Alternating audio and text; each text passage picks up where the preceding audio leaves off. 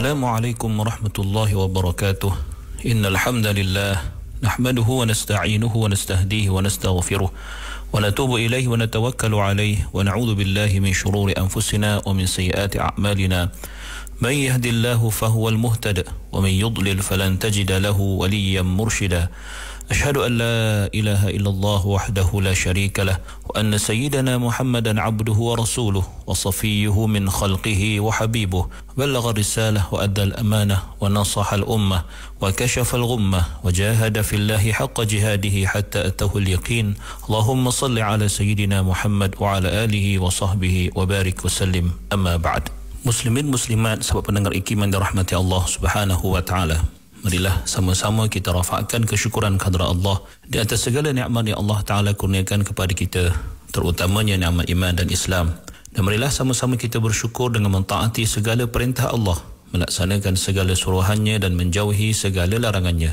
Mudah-mudahan Allah Subhanahu wa taala sentiasa memberikan taufik dan hidayah kepada kita menerima segala amal ibadah kita, mengampunkan segala dosa, kesalahan dan kesilapan kita. Dan mudah-mudahan Allah golongkan kita dalam kalangan hamba-hambanya yang bersyukur. Muslimin muslimat yang dirahmati Allah, kita berada pada ayat yang ke-130 daripada surah Al-An'am. Allah berfirman, A'udzu billahi minasyaitonir rajim. يا معشر الجن والإنس ألم يأتكم رسل منكم يقصون عليكم آياتي وينذرونكم لقاء يومكم هذا؟ قالوا شهدنا على أنفسنا وغرتهم الحياة الدنيا. وشهدوا على أنفسهم أنهم كانوا كافرين yang bermaksud wahai sekalian jin dan manusia bukankah telah datang kepada kamu rasul-rasul dalam kalangan kamu sendiri yang menyampaikan kepadamu ayat-ayatku yakni perintah-perintahku dan yang memberikan amaran kepada kamu tentang pertemuan kamu pada hari kiamat ini Mereka menjawab, kami menjadi saksi mengakui akan kesalahan diri kami sendiri, mendustakan rasul-rasul itu. Dan sebabnya ialah mereka telah diperdayakan oleh kemewahan hidup di dunia. Dan kerana itulah mereka menjadi saksi pada hari akhirat terhadap diri mereka sendiri bahawa sesungguhnya mereka adalah orang-orang yang mengingkari yakni apa yang telah disampaikan oleh rasul-rasul itu. Muslimin muslimat yang dirahmati Allah Subhanahu wa taala. Ayat ini merupakan ayat yang jelas merupakan suatu ancaman terhadap orang-orang yang zalim dan menjanjikan mereka betapa buruknya akibat mereka. Jika mereka tidak meninggalkan kezaliman jika mereka tidak kembali kepada sesuatu yang lebih baik daripada apa yang mereka lakukan jika mereka tidak kembali berprinsipkan keadilan dan berprinsipkan menyokong sesuatu yang benar lalu Allah Subhanahu wa taala menjelaskan kepada kita dalam bentuk persoalan yang ditujukan kepada golongan manusia dan jin. Allah berfirman, "Ya ma'syaral jinni wal ins, alam ya'tikum rusulun minkum yaqussuna 'alaykum ayati wa yunzirunakum liqa'a yawmikum hadha." Berkata Imam Ibn Jarir At-Tabari, ini merupakan suatu pemberitahuan daripada Allah Subhanahu wa taala tentang apa yang akan dikatakan oleh Allah pada hari kiamat terhadap orang-orang yang musyrik dalam kalangan jin dan manusia. Allah bertanyakan, Ya ma'syaral jin wal ins, alam ya'tikum rusulun minkum yaqussuna alaikum ayati. Wahai kumpulan jin dan manusia, tidakkah telah didatangkan kepada kamu para rasul dalam kalangan kamu yang menyampaikan dan menjelaskan kepadamu ayat-ayatku bermaksud mengkhabarkan kepada kamu akan apa yang telah diwahyukan kepada mereka berupa peringatan-peringatan Allah Subhanahu wa taala tentang pelbagai perkara termasuklah dalil-dalil yang menunjukkan keesaan Allah dan dalil-dalil yang menunjukkan kebenaran Allah dalam mengutuskan para anbiya dan rasul serta perintah untuk melaksanakan suruhan dan menjauhi laranganku kata Allah Subhanahu wa taala. Wa yunzirunakum liqa'a yaumikum hadha. Dan rasul-rasul itu pula memberi amaran kepada kamu. Yuhadzirunakum memberi amaran kepada kamu tentang liqa'a yaumikum hadha tentang suatu pertemuan. Pertemuan dengan azabku pada hari kamu iaitu pada hari ini. Dan balasanku terhadap perbuatan yang melanggar perintahku. Maka kamu sepatutnya berhenti dalam atau berhenti daripada melakukannya. Maka ini merupakan suatu celaan dan kecaman daripada Allah Subhanahu wa taala terhadap apa yang telah mereka lakukan ketika di dunia.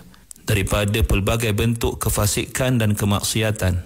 Dan maknanya bahawa sesungguhnya telah datang kepadamu para rasul para utusan Allah dalam kalangan kamu yang telah memperingatkan kamu tentang kesalahan yang kamu lakukan dengan pelbagai hujah dan bukti yang jelas dan memberi amaran kepada kamu tentang janji buruk daripada Allah Subhanahu wa taala.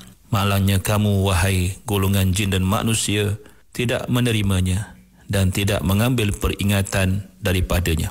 Muslimin muslimat yang dirahmati Allah, antara persoalan di dalam ayat ini yang perlu kita lihat juga dan menjadi perselisihan dalam kalangan ulama ialah pada frasa rusulum minkum iaitu rasul-rasul utusan-utusan dalam kalangan kamu. Dalam kalangan kamu itu merujuk kepada jin dan manusia dari segi bahasanya atau dari segi pemahaman secara secara ringkasnya. Maka terdapat golongan yang mengatakan bahawa Allah Subhanahu wa taala pernah mengutuskan rasul-rasul utusan-utusannya dalam kalangan jin kepada golongan jin. Walaupun begitu jumhur ulama tidak bersetuju dengan pandangan ini dan mengatakan bahawa semua para rasul itu adalah dalam kalangan manusia. Adapun yang dikatakan rusulun minkum di dalam ayat ini bukanlah bermaksud atau bukanlah bukanlah membuktikan bahawa ada rasul dalam kalangan jin tetapi apabila dikumpulkan kedua-duanya iaitu as-saqalan merujuk kepada jin dan manusia ketika Allah menyampaikan wahyunya ini maka ia bermaksud ia bermaksud atau tidak semestinya bermaksud daripada kedua-duanya. Boleh sahaja ia bermaksud daripada salah satu daripadanya. Contohnya daripada ayat surah Ar-Rahman yakhruju minhum al-lu'lu'u wal marjan merujuk kepada dua permata yang keluar daripada salah satu iaitu daripada air masin dan bukannya air yang tawar. Berkata Imam Abu Sa'ud, ia bermaksud tidakkah telah datang kepada kepadamu rasul-rasul daripada kedua-dua? Bermaksud kedua-dua jin dan manusia secara secara keseluruhan. Kan ada bukan bermaksud ada rasul dalam kalangan jin dan ada rasul dalam kalangan manusia. Bahkan ia hanya merujuk kepada kepada manusia sahaja. Namun dikatakan rusulun minkum itu sama ada untuk menegaskan tentang kewajipan kedua-duanya iaitu kewajipan golongan jin dan manusia untuk taat kepada rasul-rasul dalam kalangan manusia. Ataupun boleh saja difahami bahawa yang, yang dikatakan sebagai rusul itu adalah termasuk rusulur rusul iaitu utusan kepada utusan Allah. Bermaksud para rasul itu juga mengutuskan atau uh, menyam, uh, disampaikan perutusan mereka oleh utusan yang mereka hantar kepada kepada secara umum kepada manusia dan jin. Dan telah kita ketahui bahawa golongan jin telah mendengar mendengar bacaan al-Quran dan mendengar dakwah Rasulullah sallallahu alaihi wasallam dan mereka sendiri telah pergi pulang ke kampung mereka iaitu ke perkampungan jin untuk memberi amaran dan berdakwah kepada kaum masing-masing. Maka mereka juga dianggap sebagai rasul iaitu rasul kepada rasul. Utusan kepada rasul yang diutuskan Allah Subhanahu wa taala. Boleh kita lihat dalam surah al-ahqaf dan juga surah al-jin. Ala kulli hal dalam hal ini yang merupakan perkara-perkara sam'iyat tidak ada dalil yang boleh kita rujuk melainkan kepada Al-Quran dan Sunnah. Dan Al-Quran serta Sunnah telah menunjukkan bahawa risalah Nabi Muhammad sallallahu alaihi wasallam itu bukan sahaja kepada manusia juga kepada golongan jin dan ini telah sabit dalam hadis-hadis Nabi sallallahu alaihi wasallam bahawa baginda juga diutuskan dan pernah berdakwah kepada golongan jin muslimin muslimat yang dirahmati Allah. Lalu apa yang berlaku?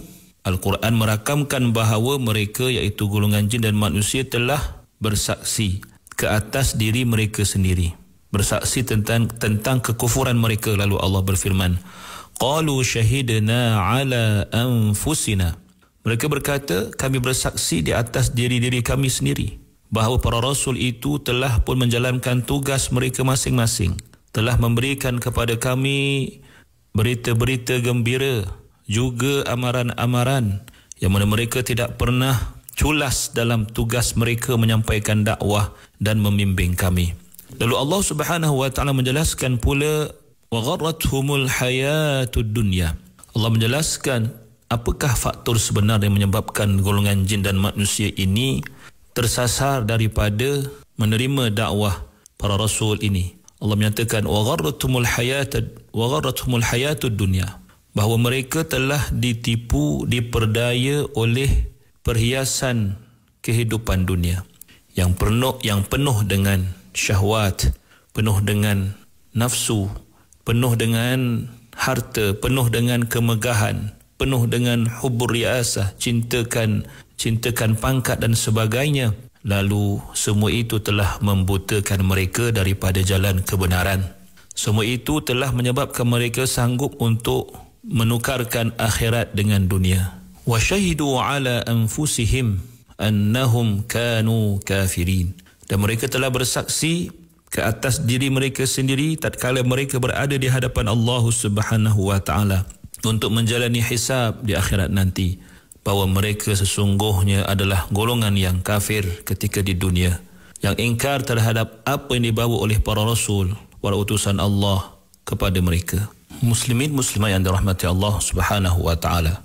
Sekiranya kita merujuk kepada surah al-an'am ayat 23 terdapat frasa yang berbunyi wallahi rabbina ma kunna musyrikin. Yang mana ini merupakan kata-kata daripada golongan yang ingkar yang mana mereka menyatakan bahawa mereka bukanlah golongan musyrikin. Maka ia seolah-olah kelihatan kontradik dengan apa yang sedang kita bicarakan dalam ayat yang ke-130 ini. Maka jawapannya ialah hari kiamat itu merupakan hari yang panjang.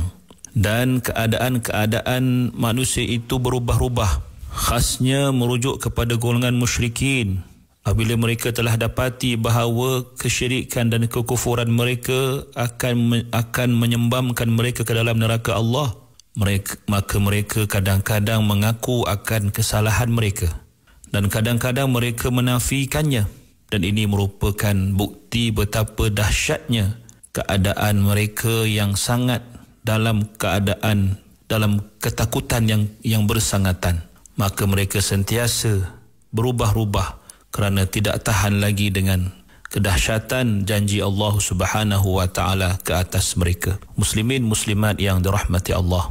Maka jelas kepada kita ayat-ayat yang seumpama ini yang merakamkan situasi sebenar nanti di akhirat. Dan ayat-ayat ini sebenarnya merupakan suatu peringatan kepada kita dan menyeru kita agar membayangkan nanti keadaan kita di hadapan Allah Subhanahu wa taala dan nanti kita akan dapat menyaksikan padanya betapa menyesalnya orang-orang yang zalim betapa dahsyatnya janji Allah kepada orang-orang dan juga golongan yang sesat lagi menyesatkan. Dan ini merupakan sebahagian daripada kemukjizatan Al-Quranul Karim dan menunjukkan membuktikan bahawa ia adalah benar-benar daripada Allah Subhanahu wa taala dan ia menyatakan sesuatu yang akan berlaku dan pasti berlaku nanti di akhirat yang pasti akan menyentap perasaan kita dan terus kukuh beriman kepada Allah Subhanahu wa taala. Qul qawli hadha wa astaghfirullah li wa lakum.